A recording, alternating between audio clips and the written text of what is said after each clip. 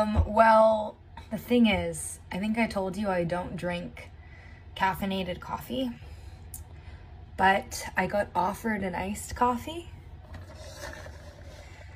that is not decaffeinated, and I wouldn't say that I have energy now, but this tastes incredible. And I now I feel like an artificial. Actually, I could do a million things.